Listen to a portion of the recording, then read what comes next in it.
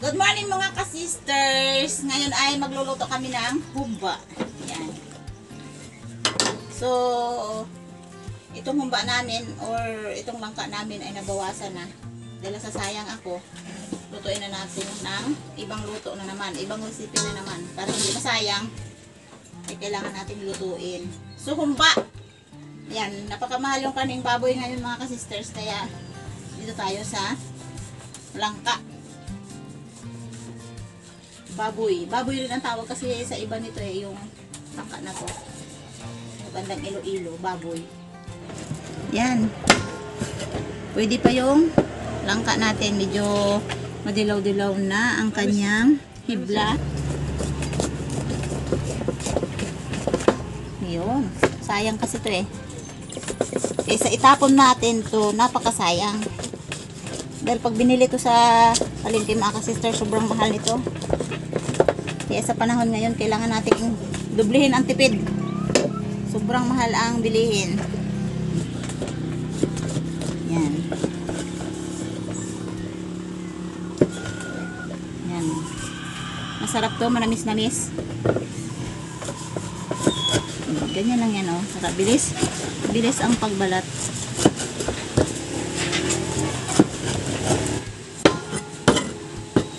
Parang kumain ka rin ng adubong baboy.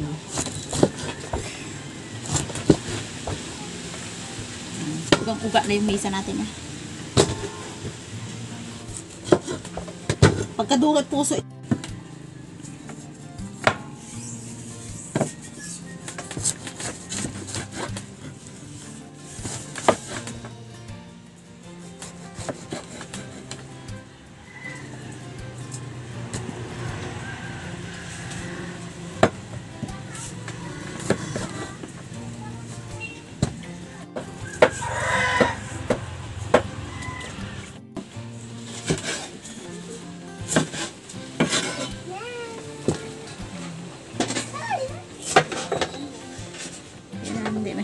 Malaki. Tama lang.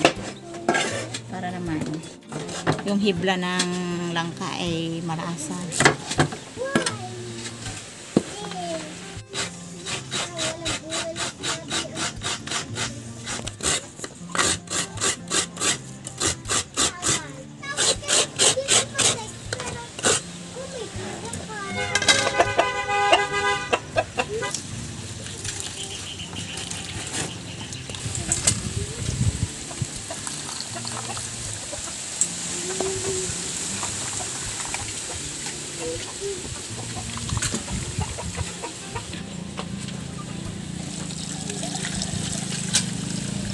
Unang gata. Kailangan ang pangalawang gata. Ito yung pangalawang gata.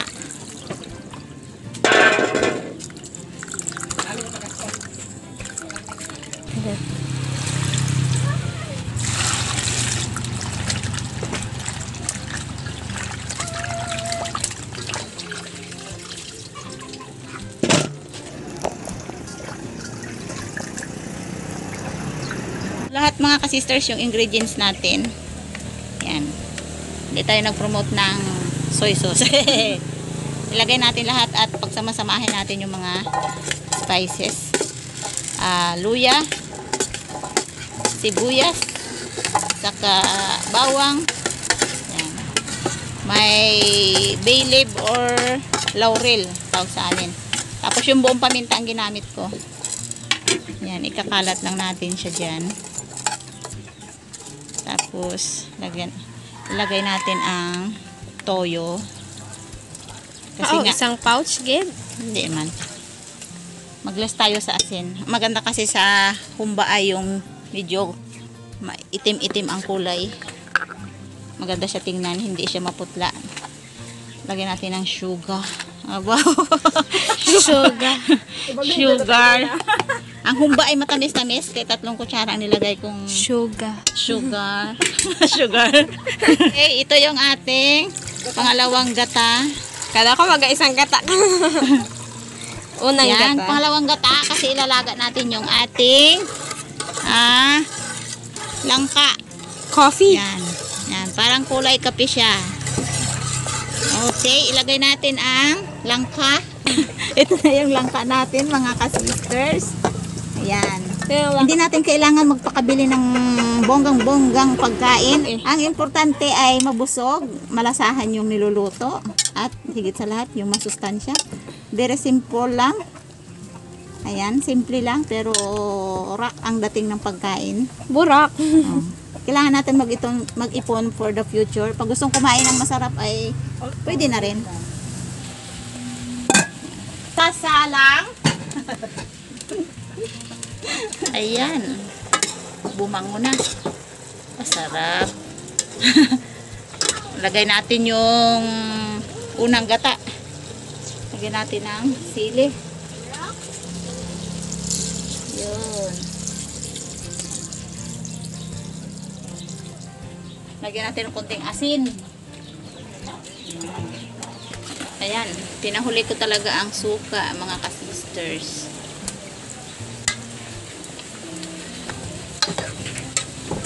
Kunting kulo pa hanggang sa magkrima yung gata na nilagay natin. Lumapot.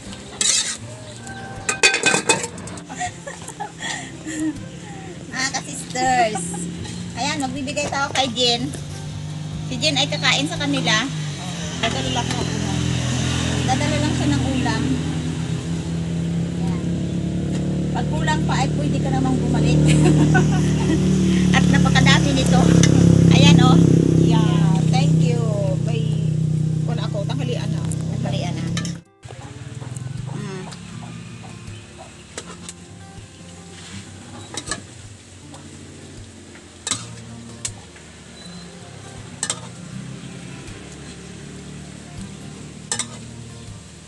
Yun, masarap yun. Ed? Ako ba?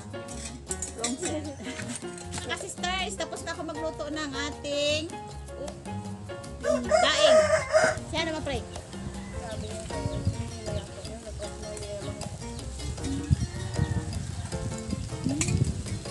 Prayer. Tumaan lang. Kain.